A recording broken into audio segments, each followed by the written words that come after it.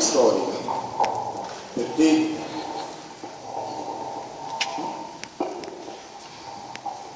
Perché le consorelle erano presenti in questa confraternita grazie al lavoro che fa Franco Iannettone lo abbiamo provato in maniera documentale erano presenti verso la fine del 1800 poi all'inizio del 1900 sono state messe per così dire in minoranza dagli uomini.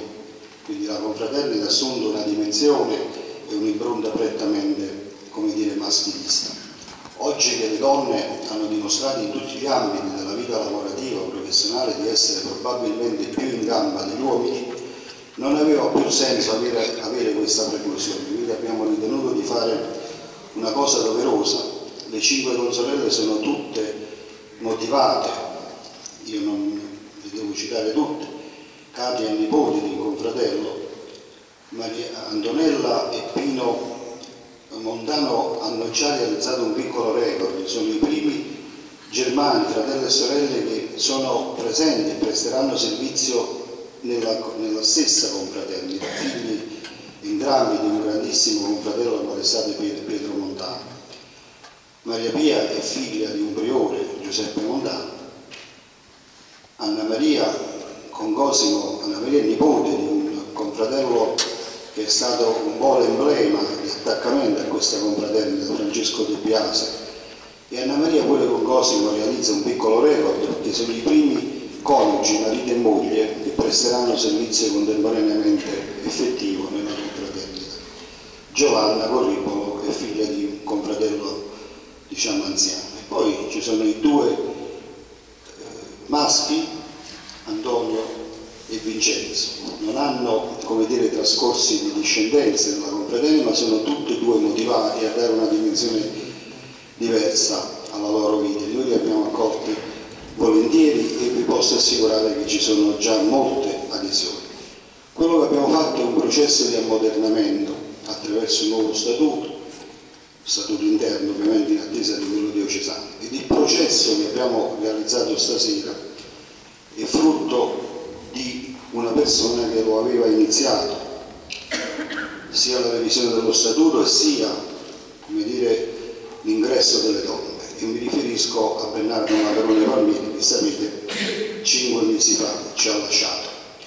Noi dicemmo in quell'occasione, lo scrivemmo perché verba volant sculptamane, che il modo migliore per onorare la memoria di Bernardo era quello di fare quello che lui avrebbe voluto fare quindi noi in, questo mese, in questi mesi abbiamo fatto quello che Bernardo avrebbe realizzato. Quindi questa sera ci sembra doveroso chiudere questa serata e non andare via perché le consorelle e i confratelli vorranno in maniera molto, come dire, parca brindare con voi, come segno di bene augurio lo faremo qua velocemente.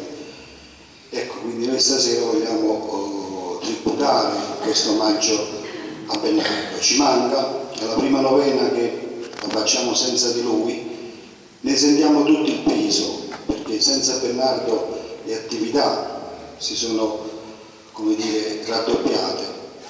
Ma vi ripeto, noi stiamo facendo quello che lui avrebbe fatto, iniziato e quindi siamo, siamo contenti ed è come se fosse qui stasera in mezzo a noi. Voglio ringraziare anche Don Enrico perché senza il suo supporto, la condivisione, noi non avremmo fatto niente. Ci sono stati decenni di inerzia perché non si riusciva, come dire, non c'era l'input ad agire. Don Enrico ci incoraggia, ci sostiene e questo è, è fondamentale. Dopina Anfora Macarone a venire qui.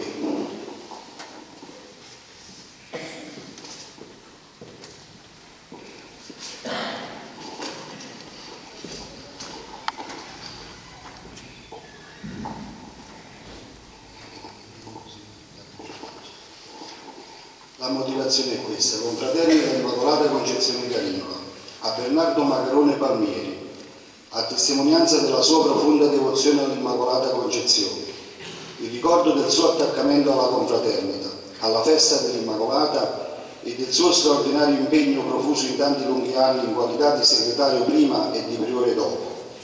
Esempio fulgido per tutti i confratelli per la carità cristiana, la bontà d'animo, la signorilità, la semplicità e l'amore verso il prossimo e i confratelli che hanno caratterizzato la sua esistenza, con stima, affetto e gratitudine perenne da parte di tutti i confratelli e le consorelle. Carinola, 7 dicembre 2016.